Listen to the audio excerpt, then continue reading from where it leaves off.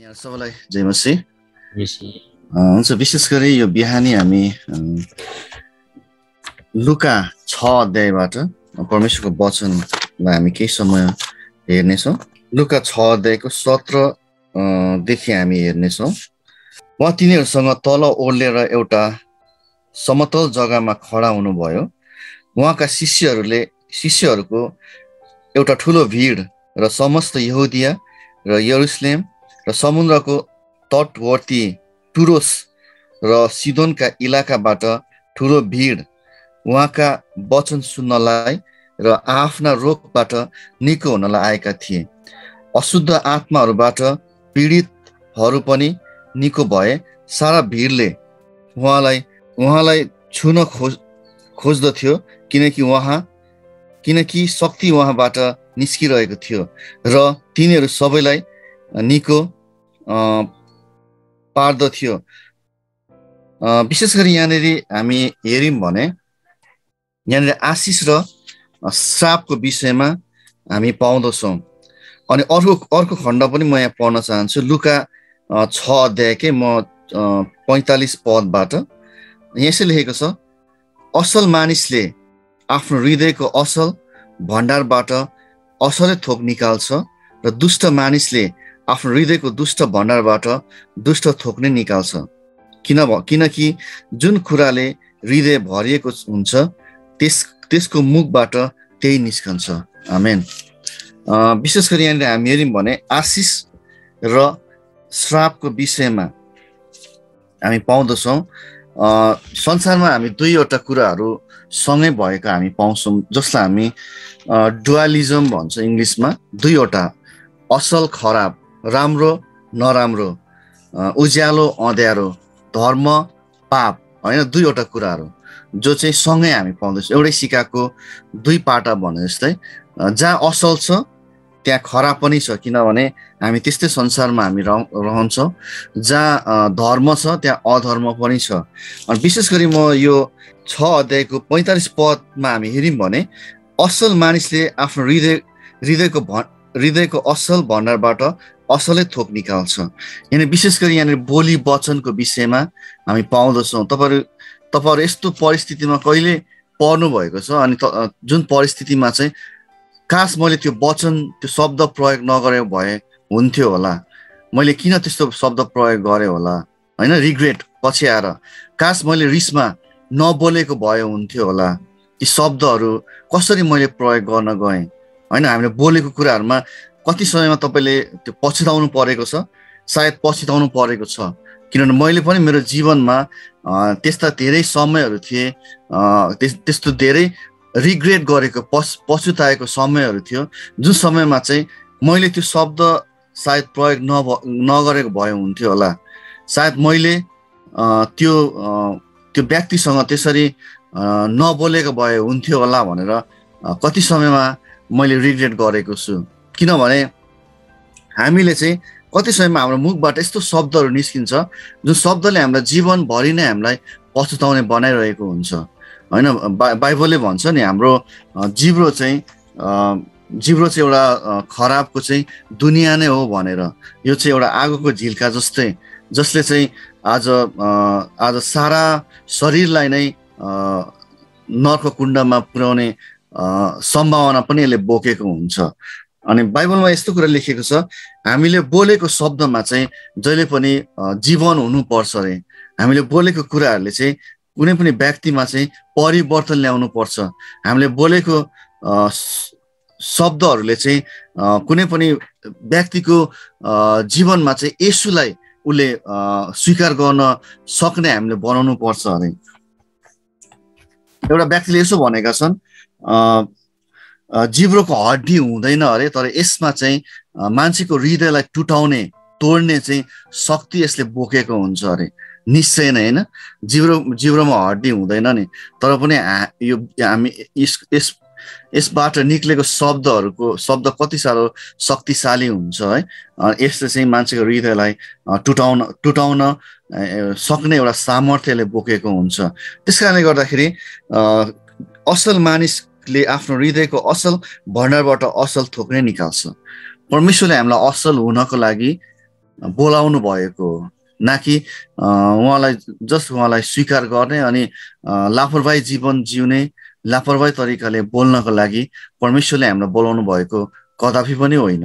हामी हाम्रो हृदयमा परमेश्वर बास गर्नुहुन्छ भने हाम्रो हृदयबाट निस्केको आफ्नो हाम्रो हृदय भएर हाम्रो मुखबाट निस्केको वचन पनि परमेश्वरलाई ग्रहण योग्य हुने खालको हुन आवश्यक छ।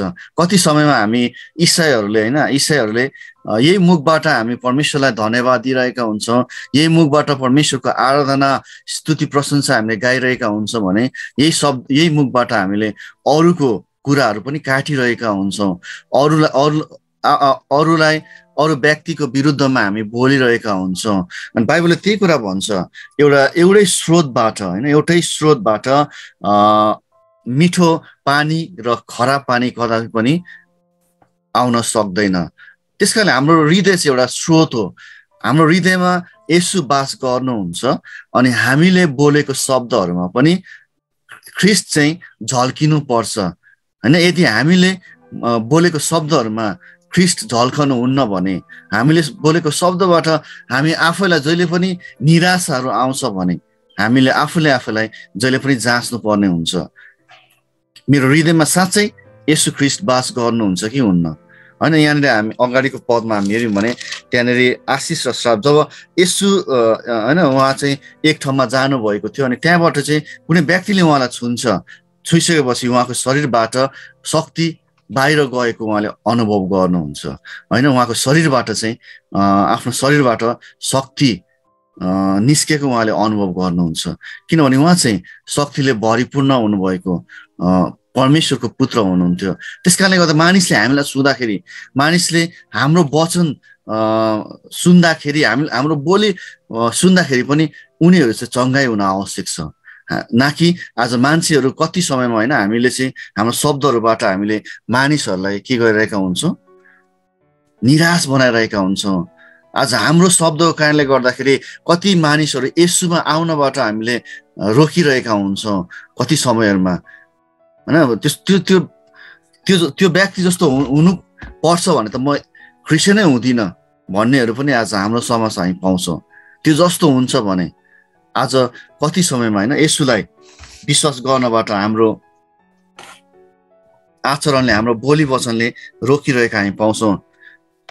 यदि तपाईँको हृदय तितो छ भने तपाईँको शब्दहरूमा विश्वास नगर्नुहोस् भनेर एउटा व्यक्तिले त्यहाँ भनिरहेको छ। यदि तपाईँको हृदय तितो छ भने तपाईँको शब्दहरूमा चाहिँ तपाईँले विश्वास नगर्नु अरे। यदि तपाईँलाई रिस उठेको छ यदि तपाईँलाई कुनै कुरामा कुनै व्यक्तिसँग रिस उठेको छ भने तपाईँ नबोल्नुहोस् भन्ने एउटा भनाइ छ नि हामी बोल्नु हुँदैन अरे। कति समयमा हामी सबैलाई रिस उठ्छ। हामी यहाँनिर कोही पनि पर्फेक्ट छैनौँ कोही पनि सिद्ध छैनौँ। होइन हामी सिद्ध सिद्धताको मार्गतिर हामी लम्किँदै गरेका छौँ तर सिद्धता प्राप्त गरेका कदापि पनि छैनौँ। त्यस कारणले गर्दाखेरि म चाहिँ मलाई कहिले पनि रिस उठ्दैन भने व्यक्ति यहाँ कोही पनि छैन। अभियसली कोही पनि छैन कोही पनि हुँदैन यो संसारमा कोही पनि छैन जसलाई रिस उठ्दैन। अनि साइकोलोजिस्टहरूले के भन्छ भने हामीलाई जब धेरै रिस उठ्छ भने हामी मौन रहनुपर्छ अरे। किनभने हाम्रो हृदय चाहिँ तितो भएको बेला हाम्रो हाम्रो शब्दमा हामीले विश्वास गर्न सक्दैनौँ। कति समयमा हामीले बोलेको शब्दहरूले आज हामी आफैलाई धेरै चोट दिएका हामी पाउँछौँ। जिब्रो धारिलो छुरा जस्तै हो जसले रगत बिना नै मार्न सक्छ। होइन एउटा जिब्रो जिब्रो चाहिँ एउटा झा धारिलो छुरा हो जसले चाहिँ रगत निकाली नि ननिकालिकन नै के गर्न सक्छ? त्यो व्यक्तिलाई मार्न सक्छ। तपाईँ कुनै पनि व्यक्तिलाई हिर्काउनुहोस् पिट्नुहोस् त्यो व्यक्तिले केही समयमा उसले उसले बिर्सन सक्छ तर त्यस त्यो व्यक्तिलाई तपाईँले नराम्रो शब्दहरू भन्नुभयो भने त्यो व्यक्तिले कहिले पनि भुल्दैन कहिले पनि भुल्दैन त्यस कारणले गर्दाखेरि यहाँनिर बाइबलमा त्यही कुरा लेखेको छ असल मानिसले आफ्नो हृदयको असल भण्डारबाट असल असलै थोक निकाल्छ र दुष्ट मानिसले आफ्नो हृदयको दुष्ट भण्डारबाट दुष्ट थोक नै निकाल्छ। तपाईँको हृदयबाट कस्तो कुराहरू निस्कँदैछ? होइन सेवा सङ्गतिभरि परमेश्वरलाई महिमा दिने शब्दहरू निस्किन्छ। सेवा सङ्गति पछि होइन अरूको हृदय दुखाउने शब्दहरू निस्किन्छ भने तपाईँले आफूले आफैलाई जाँच्नु पर्ने हुन्छ कि मेरो हृदयमा साँच्चै परमेश्वर पिता बास गर्नुहुन्छ कि हुन्न? होइन यहाँनिर विशेष गरी हामी याकुब याकुब तिन अध्याय पनि हेऱ्यौँ भने त्यहाँनिर हाम्रो जिब्रोलाई कसरी बसमा राख्ने भन्ने विषयमा त्यहाँ लेखिएको छ। मलाई एउटा मनपर्ने एउटा खण्ड चाहिँ यहाँ नौ दस र एघारमा रहेको छ। यसै लेखेको छ यसद्वारा हामी प्रभु र पिताको प्रशंसा गर्दछौँ र यसैद्वारा परमेश्वरको रूपमा स्वरूपमा बनेका मानिसहरूलाई पानी हामी सराप्दछौँ होइन? यसैद्वारा भनेको जिब्रोद्वारा हामी प्रभु र पिताको प्रशंसा गर्दछौँ र यसैद्वारा परमेश्वरको स्वरूपमा बनेका मानिसहरूलाई हामी सराप्दछौँ कति खराब कुरा होइन? यसै जिब्रोद्वारा यही जिब्रो हामीसँग दुईवटा जिब्रो छैन। दुईवटा जिब्रो हुने मान्छेलाई मान्छेले मन पराउँदैन दुई जिब्रे भन्छ। अनि यहाँनिर के लेखेको छ? यही जिब्रोबाट हामी परमेश्वरको प्रशंसा गर्छौँ। अनि यहीद्वारा परमेश्वरको स्वरूपमा बनेका मानिसहरूको मानिसहरू मानिसहरूलाई हामी सराप्दछौँ भने कति ठुलो पाप हामी गर्दछौँ। कति ठुलो अपमान हामीले परमेश्वरको गइरहेका छौँ होला हामी कल्पना पनि गर्न सक्दैनौँ। एउटै मुखले मुखबाट आशीर्वाद र श्राप निस्क निस्कन्छ। मेरा भाइ हो यसो नहुनु पर्ने हो। होइन यहाँनिर यहाँनिर याकुबले मण्डलीका मानिसहरूलाई के भन्दैछन् भने यदि तिमीहरूको मुखबाट आशिष पनि निस्कँदैछ यदि श्राप पनि निस्कँदैछ भने त्यो चाहिँ नहुनु पर्ने हो। किनभने के? पानीको मूलको एउटै धाराबाट मिठो र तितो पानी निस्कन्छ र यहाँ उदाहरण दिएको छ।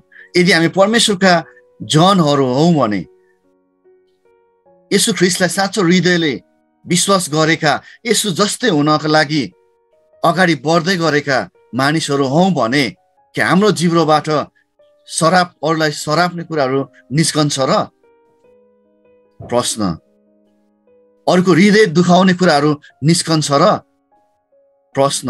होइन यहाँ प्रश्नै प्रश्न गरेको छ। उदाहरणै उदाहरण यहाँ दिएको छ। एउटै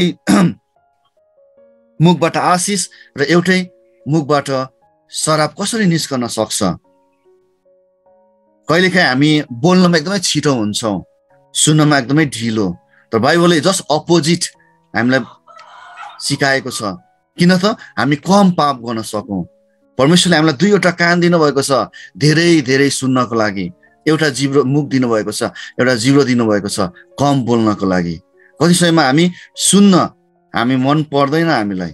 बोल्न मनपर्छ होइन हामी बोली पठाउँछौँ। चाहिने पनि बोलिरहेका हुन्छौँ नचाहिने पनि हामी बोलिरहेका हुन्छौँ। जसले गर्दाखेरि आज कति मानिसहरूको हृदय दुखिरहेको हुन्छ। अनि कति समयमा विशेष गरी अभिभावकहरूलाई म एउटा के भन्न चाहन्छु भने तपाईँहरू यदि श्रीमा श्री श्रीमतीमा मिसअन्डरस्ट्यान्डिङहरू भयो भने तपाईँहरू नानीहरूको अगाडि कहिले पनि झगडा नगर्नुहोस्। नानीहरूले तपाईँको बच्चाहरूले तपाईँहरू तपाईँहरू रिसमा तपाईँले प्रयोग गर्नुभएको शब्दहरू उनले उनीहरूले टिपिरहेको हुन्छ। खराब कुराहरू उनीहरूले सिकिरहेको हुन्छ। यदि तपाईँको नानीहरू मसिनो छ भने तपाईँहरू म म कसरी बोल्दो रहेछु म कस्तो शब्दहरू प्रयोग गर्दो रहेछु भन्ने कुरा उनीहरू उनीहरू बोलेको सुन्नुहोस्। अनि तपाईँहरूको ठिक्क एक्ज्याक्ट कपी उनीहरूले गरिरहेको हुन्छ। तपाईँहरूले बोलेको बोली वचनहरू उनीहरूले टिपिरहेको हुन्छ ए टु जेड यहाँ हाम्रो सानो नानी छ एड्रिना। ऊ बोलेको सुन्छु होइन? हामी सुन्छौँ कोही कोही बेला। यति ठुल्ठुलो कुरा उसले गरिरहेको हुन्छ। अनि मलाई हामीलाई एकदमै हामीलाई एकदमै छक्क लाग्छ। अरे यस्तो कुराहरू उसले कहाँबाट सिक्यो होला? अनि राम्ररी जाँच्दै जाँदाखेरि त्यो शब्दहरू त हामीले नै प्रयोग गरेको जुन कुरा हामी बोल्छौँ उसले त्यही कुरा बोलिरहेको हुन्छ। अनि श्राप दिने कुराहरू। होइन हाम्रो बोलीमा चाहिँ सामर्थ्य छ भन्छ नि बाइबलले। हामी बोल्दाखेरि होसियार हुनुपर्छ। अरूलाई अरूको बारेमा बोल्दाखेरि हामी होसियार हुनुपर्छ। कति समयमा होइन आमा बाबुले छोराछोरीहरूलाई हप्काउने कराउने कुराहरू आउँछ। अनि कति समयमा म सुन्छु होइन हाम्रो नेपाली समाजहरूमा हामी बोल्दाखेरि नराम्रो शब्दहरू प्रयोग गरी पठाउँछौँ छोराछोरीहरूको लागि। खुसी हुँदाखेरि आशिष दिन्छौँ अनि एकदमै रिस उठ्दाखेरि नराम्रो शब्दहरू प्रयोग गरेको हामी हामी पाउँछौँ हाम्रो नेपाली समाजमा। बाइबलले भन्छ हाम्रो बोलीमा चाहिँ सामर्थ्य छ। एउटा घटना कालिम्पोङमा एउटा घटना घट्यो तपाईँलाई थाहा छ। एउटा आमाले चाहिँ आफ्नो छोरीलाई जहिले पनि नराम्रो शब्दहरू प्रयोग गरेर गाली गर्ने त काम नलाग्ने चाहिँ हाम्रो लागि एउटा बोझ भइस। त चाहिँ छाती त चाहिँ रगत छादेर तेरो त मर भनेर त्यस्तो खाले श्राप दिन्थ्यो अरे आमाले एउटा छोरीलाई। तपाईँलाई थाहा छ त्यो छोरी अलिकति केही वर्षपछि रगत छादेरै उसको मृत्यु भयो अरे। कति समयमा हामीले बोलेको शब्दहरू त्यति शक्तिशाली हुन्छ। त्यस कारणले गर्दाखेरि हामीलाई चाहिँ परमेश्वरले यो जिब्रो यो मुख चाहिँ आशिष बोल्नको लागि दिनुभएको इजरायल किन यति धेरै धनी छ तपाईँलाई थाहा छ? इजरायल एकदमै सानो एउटा देश हो। सानो देश हो। भन्छ इजरायलमा कुनै समयमा धान पनि फल्दैन थियो अरे। तर पनि आज इजरायल किन यति धेरै आशिषित देश छ? किनभने इजरायलका मानिसहरूलाई परमेश्वरले आफ्ना छोराछोरीहरूलाई आशिष दिन सिकाउनु भयो एउटा एउटा भनाइ छ। मूर्ख स्त्री मूर्ख आमा बाउले चाहिँ आफ्नो छोराछोरीहरूलाई धन सम्पत्ति दिन्छ अरे। मूर्ख आमा बाबु आमा बाबुहरूले आफ्नो छोराछोरीहरूलाई धन सम्पत्ति दिन्छ अरे तर बुद्धिवान आमा बाबुहरूले आफ्नो छोराछोरीहरूलाई आशिष दिन्छ अरे। अनि इजरायलका मानिसहरूले चाहिँ आफ्नो छोराछोरीहरूलाई आशिष दिन उनीहरूले सिकेका थिए। बाइबलमा हामी हेऱ्यौँ भने पुरानो करारमा होइन परमेश्वरले अभिभावकहरूलाई आफ्नो छोराछोरीहरूको निम्ति आशिष बोल्न परमेश्वरले लगाउनुहुन्थ्यो त्यस कारणले गर्दाखेरि यदि तपाईँहरूले आफ्नो छोराछोरी छोराछोरीहरू भविष्यमा एउटा केही असल व्यक्ति बनेको चाहनुहुन्छ भने उनीहरूको लागि धन सम्पत्ति होइन तर आशिष दिनुहोस्। आशिष दिनुहोस्। अनि प्रार्थना गर्दाखेरि कहिले पनि यो नभन्नुहोस् प्रभु मेरो छोराछोरी बिग्रियो गलत बाटोमा गयो। उनीहरूको अगाडि विशेष गरी सुन्ने गरी गलत सङ्गतमा गयो। सही बाटोमा ल्याउनुहोस्। उनीहरू उनीहरूको अगाडि त्यस्तो शब्दहरू प्रयोग गरेर प्रार्थना नगरिदिनुहोस् उनीहरूले सुन्ने गरी। यदि गर्नु नै हुन्छ भने परमेश्वरमा मनमा नै उहाँ उनीहरूको निम्ति प्रार्थना गर्नुहोस्। यदि उनीहरूले सुन्ने गरी तपाईँहरू प्रार्थना गर्न चाहनुहुन्छ भने उनीहरूको लागि परमेश्वरलाई तपाईँ धन्यवाद दिनुहोस्। प्रभु मेरो छोरा छोराको लागि धन्यवाद। मेरो छोरीको लागि धन्यवाद। होइन? उसको स्वास्थ्यको लागि धन्यवाद। उसको जीवनमा आएको परिवर्तनको लागि धन्यवाद। भनेर प्रार्थना गर्नुहोस् न। अनि परिवर्तन आउँछ। कहिलेकाहीँ हाम्रो प्रार्थना यस्तो हुन्छ कि नानीहरूले सुन्न पनि चाहँदैन। त्यस्तो खाले प्रार्थनाहरू। अनि उनीहरूमा परिवर्तन आउनुभन्दा पनि झन् बढी समस्याहरू सिर्जना भएका हामी पाउँछौँ। त्यस कारणले गर्दाखेरि विशेष गरी अभिभावकहरूलाई म यही अनुरोध गर्न चाहन्छु छोराछोरीहरूको लागि तपाईँहरू आशिष बोल्नुहोस्। परमेश्वरले पुरा गर्नुहुन्छ।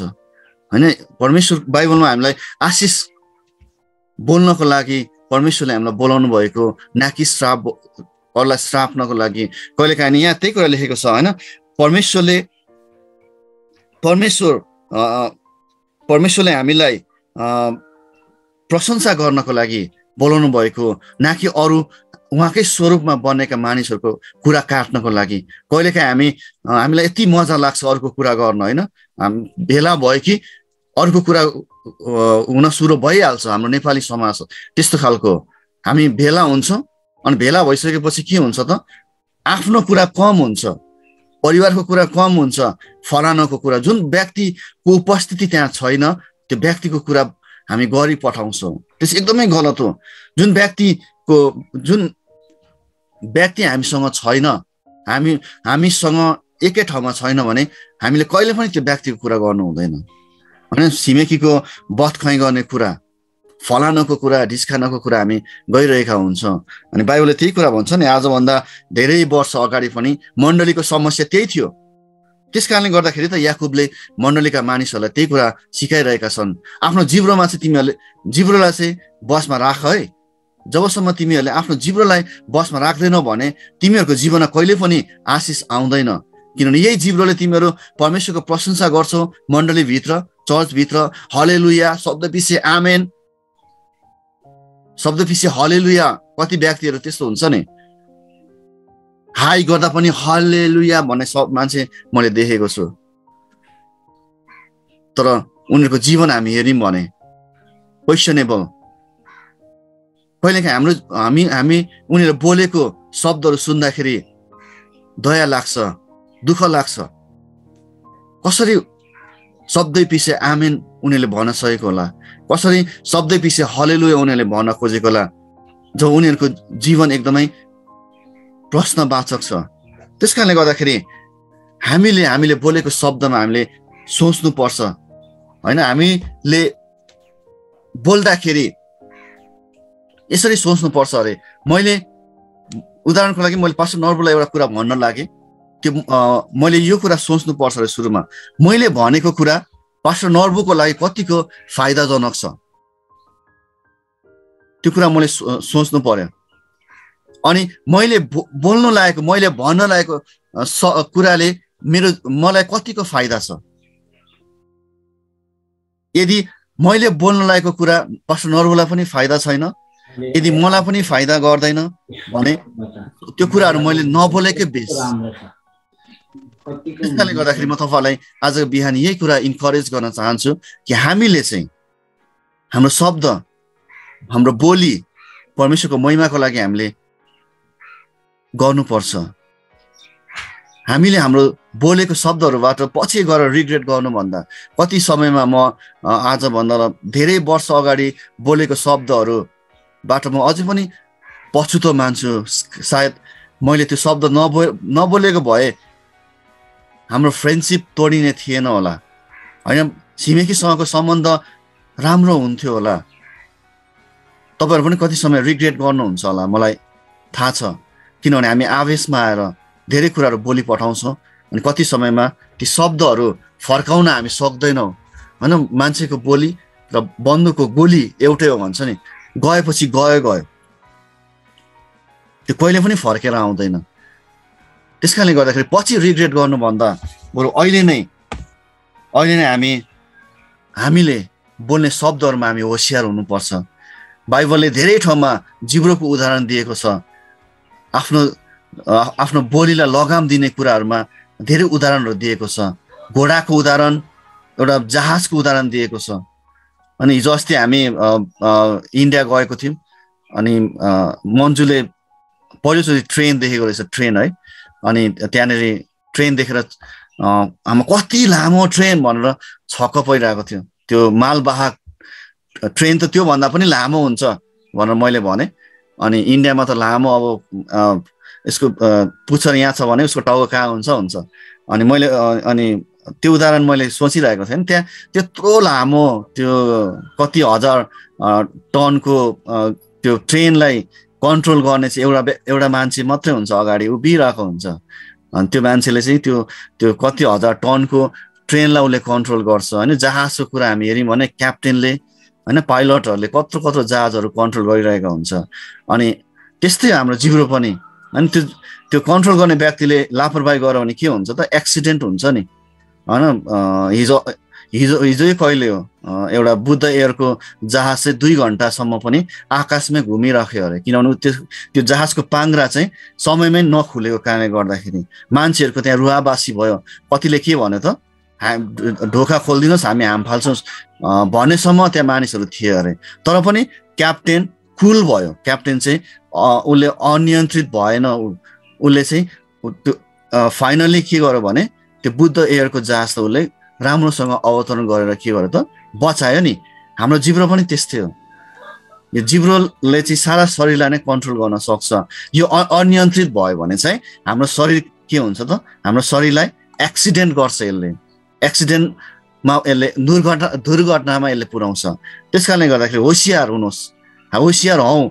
यो मेरो लागि पनि हो यो वचन। आज बिहानीको वचन। हामीले हाम्रो शब्दलाई सही तरिकाले हामीले चलाउन सिक्नुपर्छ। सोच्नुहोस् बोल्नुभन्दा अगाडि। होइन बोल्नुभन्दा अगाडि हामीले सोच्नुपर्छ।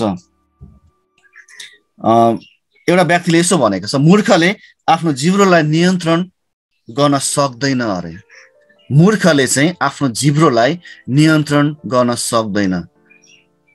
अनियन्त्रित जिब्रो चाहिँ त्यो व्यक्तिको हुन्छ जसलाई चाहिँ हामी बाइबलीय दृष्टिकोणबाट मूर्ख बन्न सक्छौँ।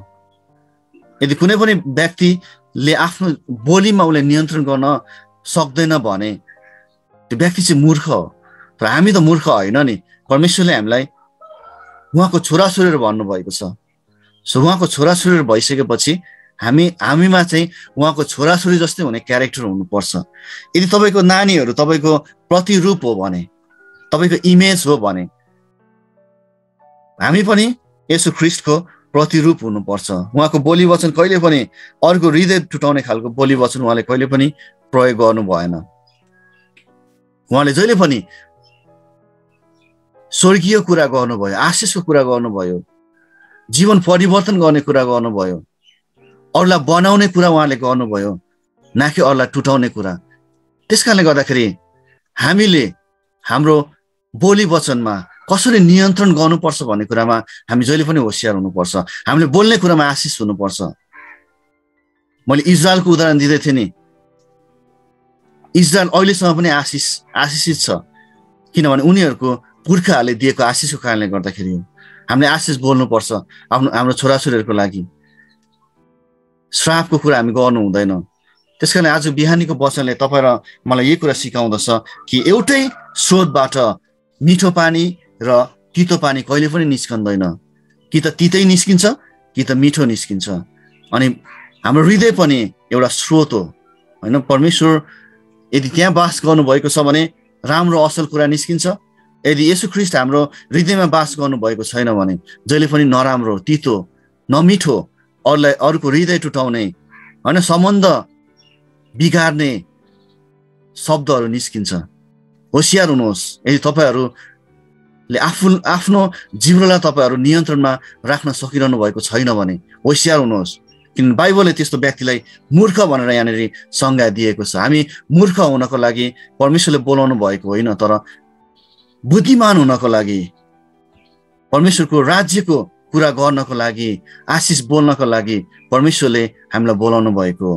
त्यस कारणले गर्दाखेरि हामीले हाम्रो हाम्रो जिब्रोलाई चाहिँ हाम्रो बोली वचनलाई जहिले पनि सोचेर हामीले प्रयोग गर्नुपर्छ। प्रार्थना गर्दाखेरि पनि म कति समयमा हुन त यो कतिको सही हो कतिको गलत हो मलाई थाहा छैन। कहिलेकाहीँ अरूले गरेको प्रार्थनाहरू म अब्जर्भ गर्ने गर्छु। अनियन्त्रित रूपमा उनीहरूले शब्दहरू प्रयोग गरिरहेको हुन्छ। नसोचिकन आई मिन मेरो भन्नुको अर्थ चाहिँ हृदयबाट होइन जिब्रोबाट मात्रै उनीहरूले प्रार्थना गरिरहेको हुन्छ। हाम्रो हृदयबाट निस्किनुपर्छ प्रार्थनाका शब्दहरू। त्यो चाहिँ रियल हुनुपर्छ भन्नुको अर्थ। परमेश्वरसँग कुराकानी गर्दाखेरि हामी आर्टिफिसियल तरिकाले प्रस्तुत हुनु हुँदैन। जिब्रोमा जे आयो हामी त्यो बोल्ने होइन तर हाम्रो बोलीमा चाहिँ नियन्त्रण हुनुपर्छ। अनि जब बोलीमा नियन्त्रण हुने कुरा आउँछ नि तब हामी अन्य भाषाको कुराहरूको पनि चर्चा हामीलाई चर्चा गर्न मलाई मनपर्छ।